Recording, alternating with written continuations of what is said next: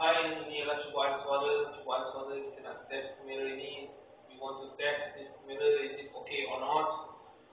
uh, hi, okay, this is the distance of